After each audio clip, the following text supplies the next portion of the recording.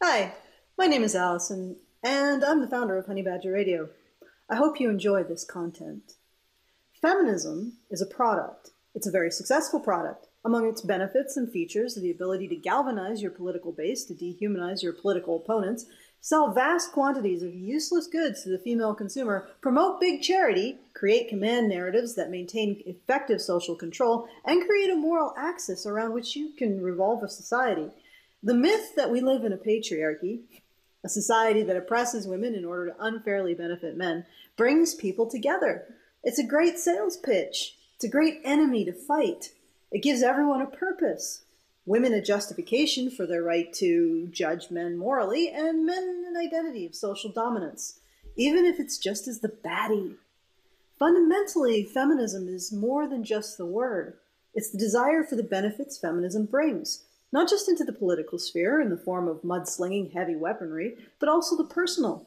I've lost count of how many times I've heard a woman win an argument with a man by invoking the dread specter of patriarchy we live in a patriarchy, therefore you have to do what I say, concede my points, and accept what I'm asserting, or you're oppressing me as a man.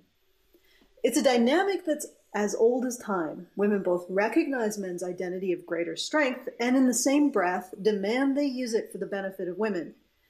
Feminism is simply an extension of that.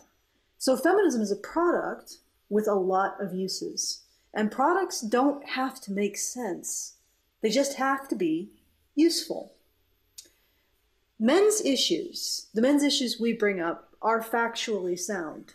In a world of logic and sense, they should matter because the word equality should mean something other than yet another way we can frame women as victims. It makes no sense to unquestioningly view women as victims of inequality without looking at the other side.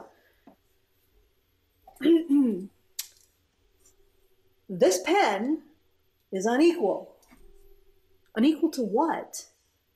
I'm saying it's unequal. Are you anti-pen? Does doesn't matter what it's unequal to. What matters is it's a victim of inequality. And as an advocate for pen equality, give me money and do what I say. That's feminism.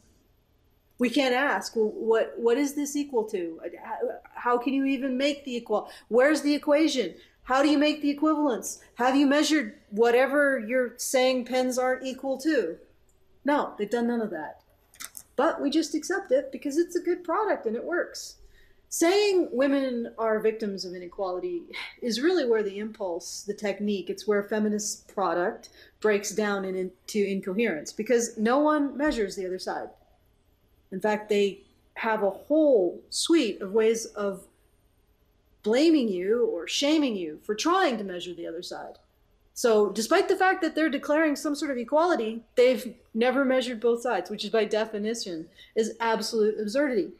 But it's a great product. And the only ones who measure the other side are us men's issues advocates.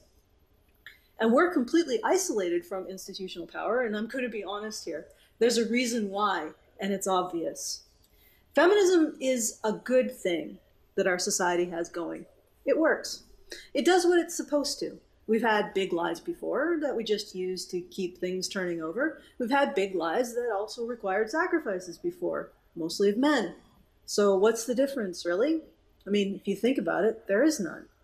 Now, let's look at men's rights. Let's take all of the self righteous activizing out of it. Let's look at it from a purely marketing perspective.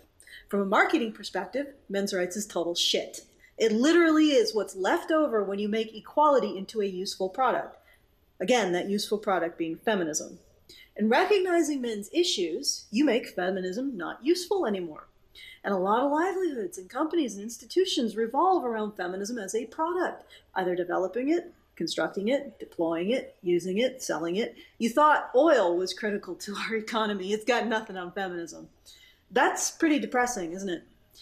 It is depressing. But it's a reality we have to face. The incumbent, the established product, is big, it's entrenched, it's ubiquitous. It's Coke and Microsoft and Google and Disney and big oil all rolled into one. And what are we? Do we even have anything functional to offer society? What happens if tomorrow our wish comes true And everyone recognizes that men's have issues on par with women's issues, perhaps even more severe. Okay, we did it, men's rights activists. We recognize what you're saying. Now what? Do we lay off all the factory line workers creating feminism? We no longer have a grand narrative uniting everyone against economy. How do we motivate people? How do we get them to cooperate? The charity industries disappeared. Now no one can sell Nikes, women's Nikes and pink razors anymore because we can't strip women of agency in order to sell it back to them in the form of a crappy product. The consumer dollar is collapsing. Now everything is still going to shit, but faster. Does anyone else think about these things, or am I the only one? So, what do we do? What do we do? In order to compete with an established industry leader, you have to do something better, faster, or cheaper. Well, we're not going to do it better or faster than feminism. That it's too good at what it does. As for cheaper, nope. You just have to open your mouth and say, women need, and people are thrusting money at you before you can even finish your sentence. Cheaper, faster, better. Or you can do something different. But different things don't have established markets. Eris was the Greek goddess of strife. A while back, I talked about how there are two basic, two basic feminine archetypes, the katabolytic and the anabolytic.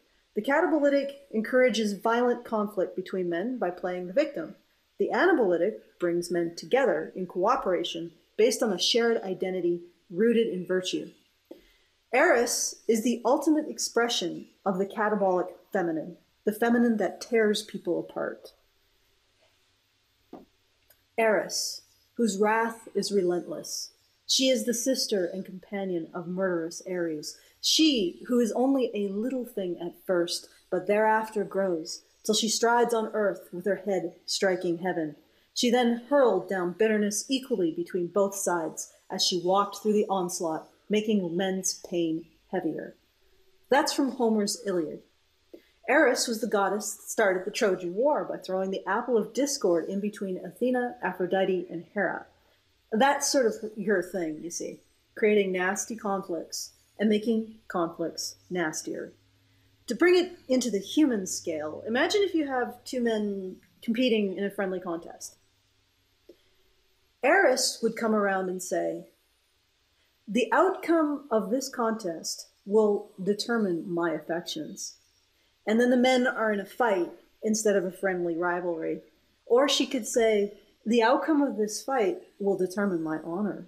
Now we have a duel to the death. Or Eris could say, the outcome of this duel will determine my well being and the well being of all women. And now we have a war. Eris amplifies conflict by giving it bigger and bigger stakes. And the biggest stakes of all is the well being of women. No society survives unless it takes care of its women. There is no identity without women at the center because of that. And that's just as true for conflict. Eris knows this and uses it. Eris sounds very familiar, doesn't she? Feminism is very much like Eris. Feminism applies bigger and bigger consequences to conflict by manufacturing bigger and bigger stakes, bigger and bigger female victimhoods bigger ways that women's well being is in jeopardy. One example American politics has always been contentious, but have you noticed that they've gotten worse since Eris had this galaxy brain moment?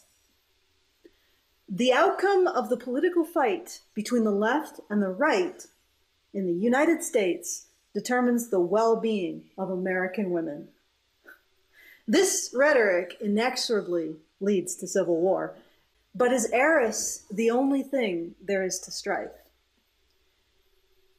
Hesiod in Works and Days writes It was never true that there was only one kind of strife, Eris. There have always been two on earth. There is one you could like when you understand her. The other is hateful. The two strifes have separate natures. There is one strife who builds up evil war and slaughter. She is harsh, no man loves her. But the other one is born the elder daughter of Black Night. She is far kinder. She pushes the shiftless man to work for all his laziness. A man looks to his neighbor who is rich, then he too wants to work. Such strife is a good friend to mortals. Then potter is potter's enemy, and craftsman is craftsman's rival. Tramp is jealous of tramp, and singer of singer. Hesiod never gives a name to his second strife. I'd like to propose one. I'd like to call her agones. The root agon comes from the Greek word agon, which is translated with a number of meanings, among them contest, competition at games, and gathering. In ancient Greece, agones, also known as agones, were contests held during public festivals. One example is the Olympics. If Eris raises the stakes to send men to war, Agones changes the stakes entirely. If Eris is catabolic, feminine, the feminine that sets men at each other's throats, Agones brings them together in a shared endeavor, either cooperative or competitive. But how do you turn Eris into Agones? When the Sabine women rushed the battlefield to stop their husbands, the Romans, and their fathers and brothers, the Sabines, slaughtering each other over the Sabine women's honor, the women said, If we are the source of the conflict, then kill us instead of each other. The Sabine women forced their men on both sides to choose between the conflict and what the conflict was over. If they continued to fight, there would be no women left to fight for. See, that's almost the opposite of what Eris does. Eris goes in and says, you know, the outcome of this fight is our honor. And the Sabine women went in and said, the outcome of this fight will be our death. The Sabine women changed the stakes. In fact, they took the stakes out of the conflict entirely and put them into ending the conflict. Without those stakes, the conflict lost its meaning to the men of both sides, and they stopped killing each other. But even more importantly, the Sabine women loved the men of both sides more than they love their honor, more than they love the ability to apply stakes to a conflict.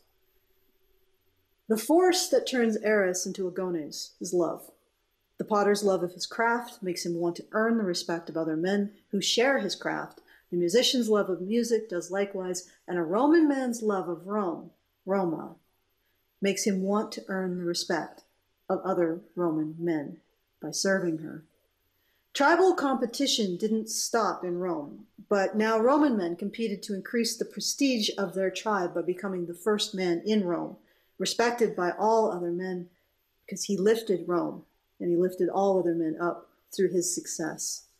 Like the Roman identity before it, the American identity inspired its sons to cooperative greatness, self sacrifice to protect the world. While ethnicities were still killing each other in Europe, they became neighbors in America. America inspired diverse people to come together around a common dream of prosperity and freedom.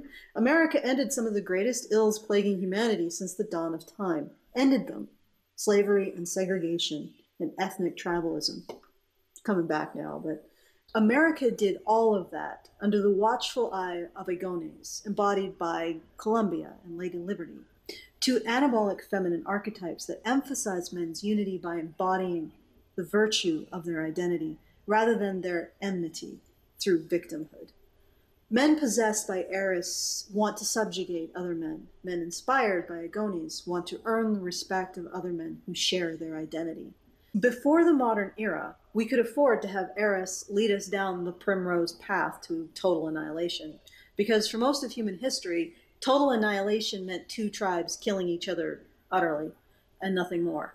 Now it means ending our species and all life on Earth. Eris is more than just a tragedy. She is the most dangerous psychological force on the planet.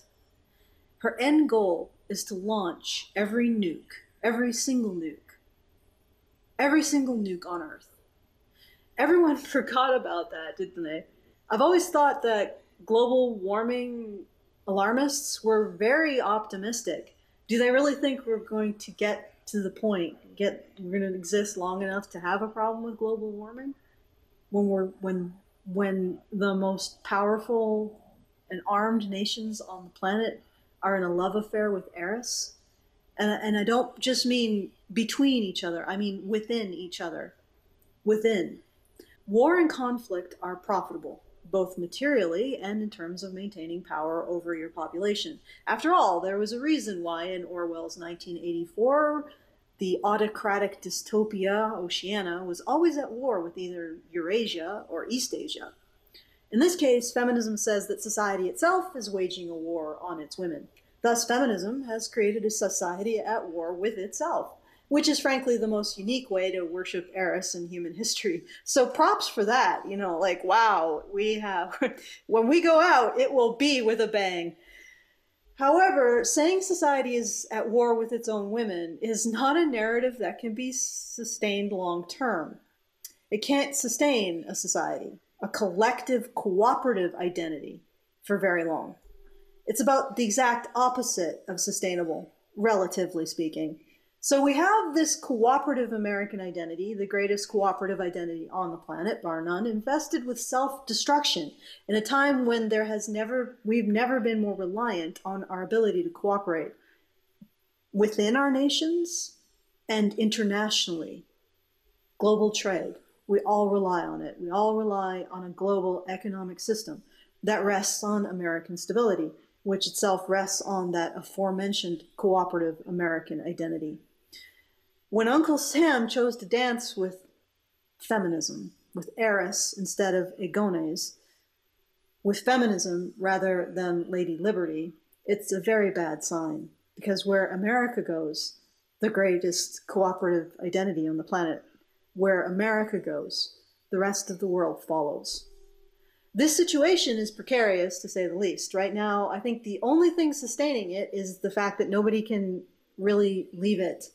We're all, we've all lost our ability to walk off into the hills and start up our own self-sustaining agricultural communities. There, but there are a lot of challenges that we're about to face, so we can't just sit on that. The biggest of which is the switchover from the boomers to the millennials from a generation that has a sense of shared values, family values, from a shared mass media, to a generation whose socialization is primarily internet based. And the internet excels at fracturing us into tribal communities. When you fly Eris's banner, she rewards you with likes and views, subs, and revenue. Everyone wants a good fight. Everyone wants to be right. Eris makes both sides believe they're right and that the only solution is to eradicate the other, either ideologically or physically. I started this by saying feminism is a product, a very successful one, and feminism, strife, Eris, is a great product to sustain corporate greed, government tyranny, academic hegemony, and big media monopoly. So how can our little community create anything that com can compete with that? The answer is we don't. Eris sows the seeds of her own destruction. Either she kills us all, thus killing herself, or she brings us so much pain that people will embrace anything to make it stop. It's pain that makes new markets, and no one brings pain like Eris. In Theogony, and she, destructive night, bore Nemesis, who gives much pain to mortals, and afterward cheating deception and loving affection, and then malignant old age and overbearing Eris, discord. Hateful discord, hateful Eris in turn bore painful hardship and forgetfulness and starvation and the pains full of weeping and the battles and the quarrels and the murders and the manslaughters, the grievances, the lying stories, the disputations and lawlessness and ruin, who share one another's nature and oath, who does more damage than any other to earthly men when anyone of his knowledge swears to a false oath. Eris is responsible for false accusations, lying stories, grievances, and lawlessness. If Hesiod wrote today, I think he could recognize a lot of Eris's offspring in our news headlines. Eris inspires nothing but conflict with everyone and anyone, and most importantly, with yourself. If you're in this community, you can already see the pain that everyone else outside of it is in. It can be hard sometimes because we're also in pain, but we are not in the relationship with that bitch. The nagging ache of anxiety, the slow burning grind of depression, not being able to find a single place to rest from the queasy paranoia, or a single person as a confidant. No friends, no home, no countrymen, no refuge, and no sanctuary. As they screech about safe spaces, they turn their own spaces into seething pits of abuse.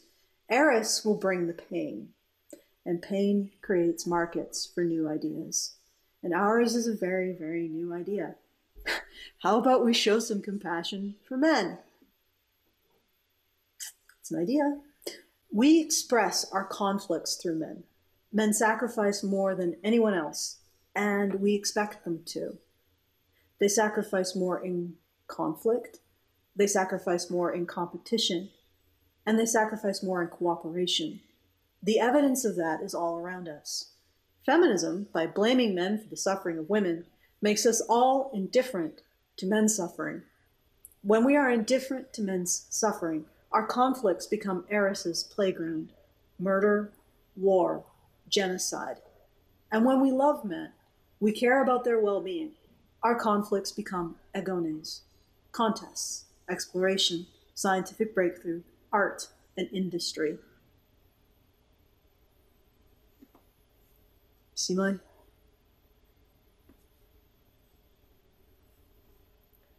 I don't know if you've ever have you ever noticed that. Let me see if I can show it. Make art, not war.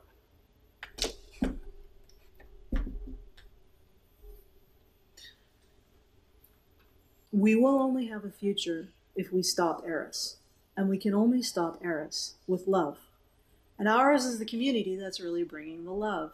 Everyone who stays in it stays in it because they have compassion for men. It's almost impossible to hate women to the point where even an accusation can create a billion dollar industry. It's almost impossible to hate women. So when you love men, you are only adding love. You're not subtracting it. And that's our selling point. That's our product. If you look at the course of human history, civilization breaks down into strife over and over again. Eris strides across the face of the world, her crown cracking the sky while graveyards sprout in her footsteps. And then we come together again around a story of love and rediscover Agones, the Sabine women sacrificing their lives to save their men. Christ sacrificing his life to redeem a corrupt society. Eris breaks us apart, and then we come together again with love. Eris is seductive. She's intoxicating. It's great to drive your enemies before you and hear the lamentation of their women. But I think the average person will eventually realize they'd rather have a hug. Vexum was one of our listeners who attended the Amsterdam meetup.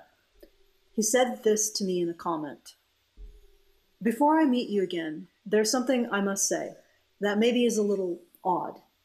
But you being you, I suppose I don't have to worry about this being taken the wrong way.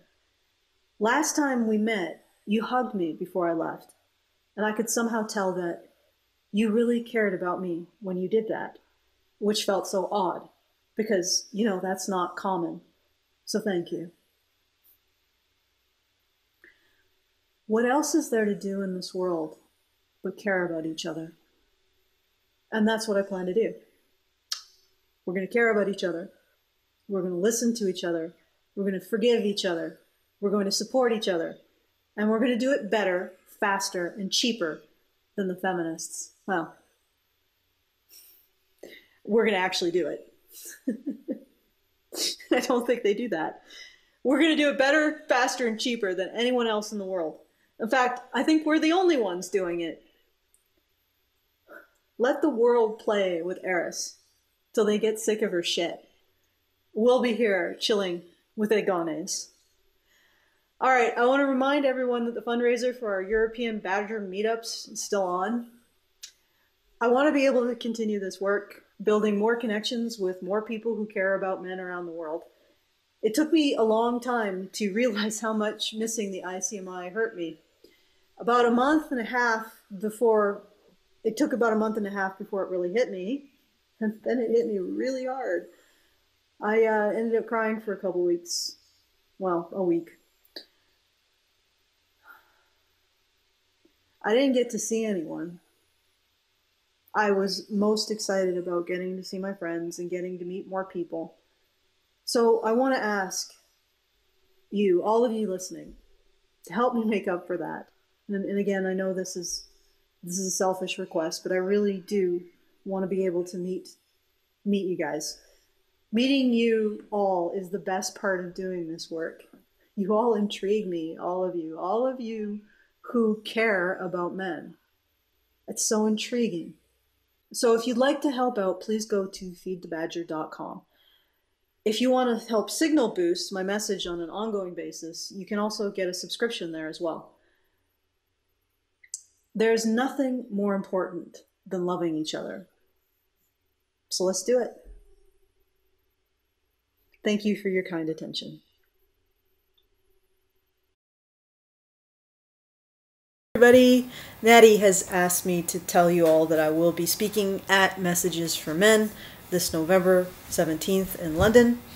And I just wanted to give you an update. We have managed to fund every leg of the journey except for the one to Oslo for the Men's Issues Conference there, November 19th. So if you want to make sure that we can get there, please go to feedthebadger.com. Five bucks, ten bucks, every little bit helps. And thank you for helping us get this far.